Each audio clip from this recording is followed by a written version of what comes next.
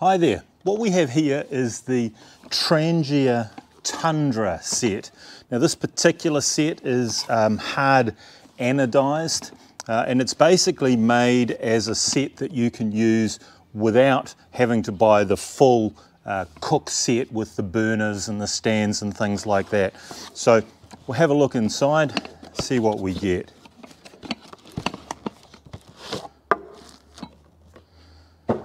So first thing we see is uh, we've got a, a, lid. Now this particular lid is a non-stick lid, nice little handle.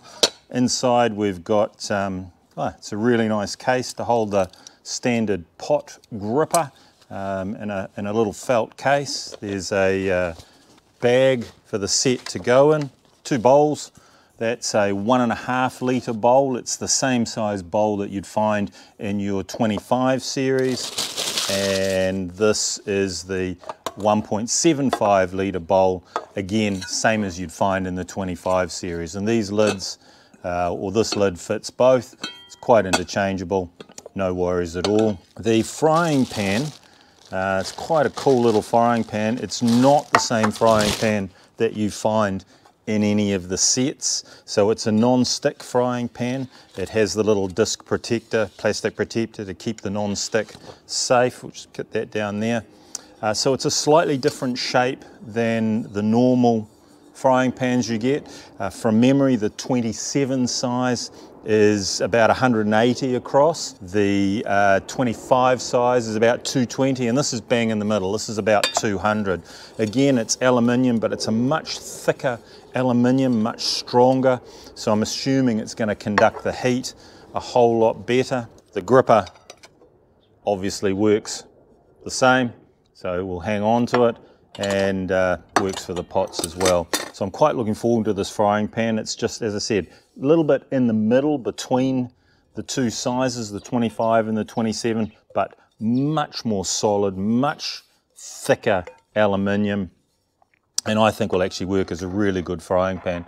So the, the idea being with this set is that you will use something like the triangle and, uh, and away you go. And that's my plan really was to use this uh, when I do trips to huts and things like that where I don't need the windshield, I don't need anything else because I'm cooking inside, but I do need pots that were a little bigger than the pots in my 27 series. They're one litre and I find if you want to cook a stew or something similar, they are a little small for that, whereas uh, these should be ample. So that's, uh, that's the way they work like so. So it's a very, very, very nice set, very typically Trangia in terms of well made, well put together, beautifully finished. There's not a mark on these. They come in various makeups. Uh, these are the hard anodized. You can get the pots as uh, non-stick if you like. Uh, you can get the sets uh, as pots with a lid, without the lid, with a frying pan, without the frying pan, with grippers, without grippers. So you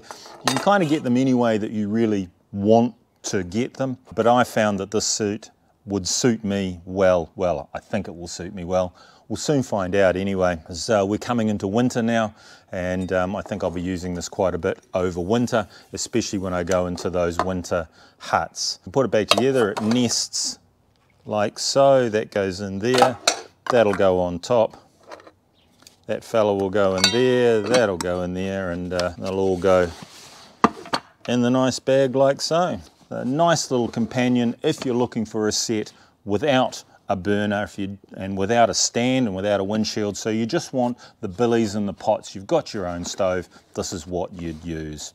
Really enjoy cooking on trangias as you probably know. Uh, if you want to have a look at me cooking some lemon fish on my trangia have a look at that video up there. I'll see you over there. Thanks for watching. Cheerio